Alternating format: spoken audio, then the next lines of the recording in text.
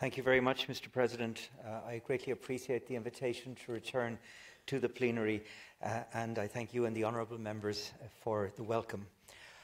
Uh, since I took up the mandate of Commissioner, I've spent a considerable amount of time engaging on issues of migration. I've spent a lot of that time visiting walls, new walls, higher walls along our frontiers. I've witnessed and I've argued against the repudiation of law, uh, and I've observed with increasing concern the, uh, the issue, or the opening of the issue of the renegotiation of treaties. There's one common theme running across these manifestations, and that is that the theme of making our borders and our countries more secure.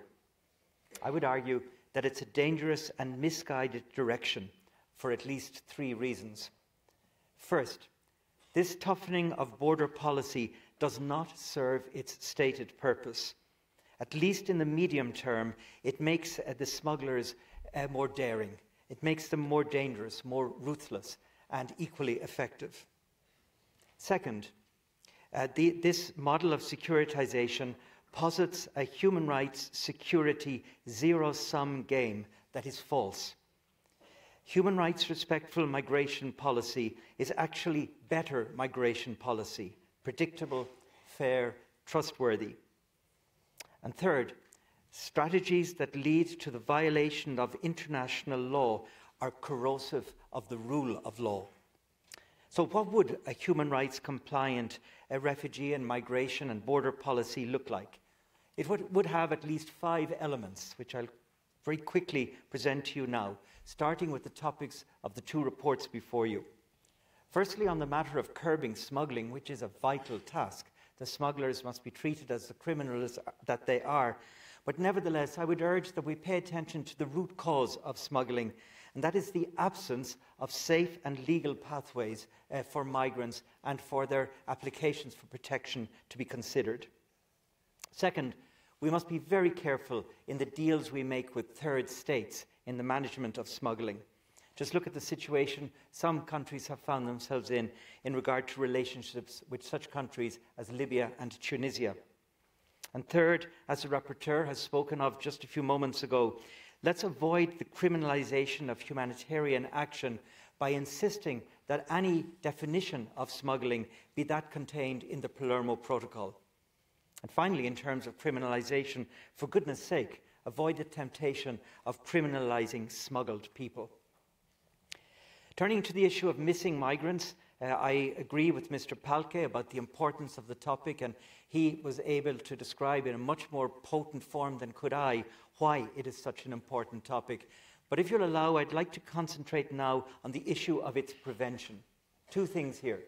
Again, safe and legal pathways are integral to the avoiding of deaths at sea and elsewhere. Uh, and second, speaking of the sea, we have got to enhance search and rescue capacity. Frankly, it's a disgrace for our countries, together and severally, that we do not have in place in the Mediterranean the capacity to rescue drowning people. Turning to other areas, uh, once people arrive, it is vital that we give them a meaningful opportunity to apply for international protection and that we give them an individuated uh, uh, determination of their case. And in this context, I don't feel the need to debate pushbacks. For me, it's clear. Pushbacks are an intolerable and egregious violation of law. Fourth, we need to ensure decent reception conditions. We can do it. Much of the problem we encounter in terms of overcrowding, bad facilities, poor care is our own doing because we put the reception facilities in the wrong places for tactical reasons. We put them in ro- remote locations, or we crowd them into single places where resources are stretched. All such issues can easily be avoided. Fifth and finally, uh, we, I would strongly encourage that our member states consider putting in place independent human rights monitoring systems at the borders. Where this has been tried, it is found to be useful and effective in terms of reducing the allegations of abuse uh, and, in general, enhancing the sense of trust in the systems. Time is short, and so I'll conclude here by means of citing the world's arguably most powerful advocate for better migration policy, Pope Francis. Speaking recently, he recalled that migration cannot be managed by stricter laws or border militarization.